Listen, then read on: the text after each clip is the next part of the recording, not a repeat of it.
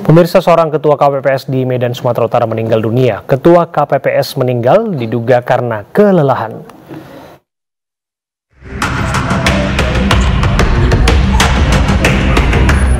Ketua KPPS TPS 6, Kelurahan Babubara, Kecamatan Medan Baru, Kota Medan, Firmanto meninggal dunia.